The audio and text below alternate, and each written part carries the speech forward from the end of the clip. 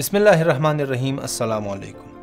اگر آج ہم اپنے معاشرے کے لوگوں کو کیٹیگرائز کرنا چاہیں، تو ہم انہیں دین کے حوالے سے دو کیٹیگری میں تقسیم کر سکتے ہیں۔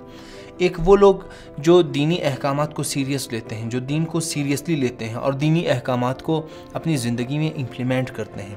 اور ایک وہ لوگ ہیں جو اپنے آپ کو مسلمان تو کہتے ہیں جو ظاہری طور پر اسلام اسلام کا نام اپنے اوپر استعمال تو کرتے ہیں، لیکن دینی احکامات کو سیریس نہیں لیتے۔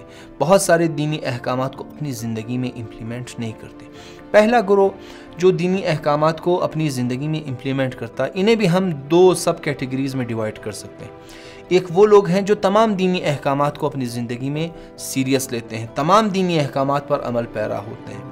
لیکن ایک وہ لوگ بھی ہیں جو بعض دینی احکامات پر تو عمل کرتے ہیں، لیکن بعض بہت اہم دینی احکامات پر عمل نہیں کرتے۔ نماز پڑھتے ہیں، روزہ رکھتے ہیں، تسبیح گماتے ہیں، اذکار اللہ کا ذکر کرتے ہیں، لیکن حق الناس کا خیال نہیں رکھتے۔ اور ایسے لوگ، ایسے دیندار لوگ جو حق الناس کا خیال نہیں رکھتے، ہمارے معاشرے میں ان کی تعداد افسوس کے ساتھ کہنا پڑ رہا ہے کہ زیادہ ہو رہی ہے۔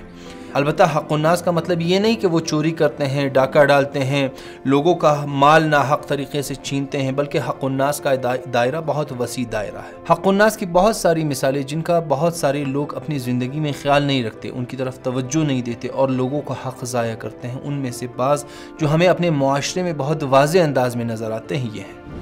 اپنی گاڑی کو کسی ایسی جگہ پارک کرنا جس کی وجہ سے لوگوں کے آنے جانے میں اور رفت و آمد میں مزاحمت ایجاد ہو، ان کے لیے مسئلہ ایجاد ہو۔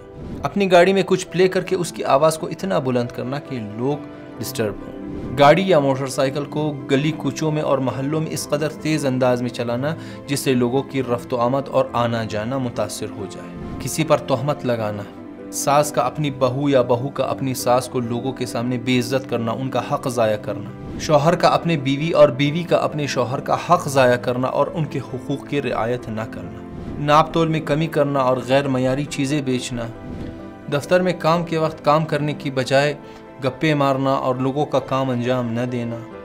اپنے گھر یا دکان کو حد سے زیادہ آگے بڑھانا اور ناجائز قبضہ کرنا۔ یہ اور اس طرح کی دسیوں ہمیں مثالیں ملیں گی جو روزمرہ بیسس پر، ڈیلی بیسس پر ہم لوگوں کا حق ضائع کر رہے ہیں۔ اور لوگوں کا حق ضائع کرنے کے حوالے سے روایات میں بیان ہوا ہے کہ اللہ کے نزدیک ذلیل ترین شخص وہ ہے جو لوگوں کا حق ضائع کرتا ہے، جو لوگوں کے حقوق کا خیال نہیں رکھتا، جو لوگوں کی توہین کرتا ہے، لوگوں کی احانت کرتا ہے، ان کی بےزتی کرتا ہے۔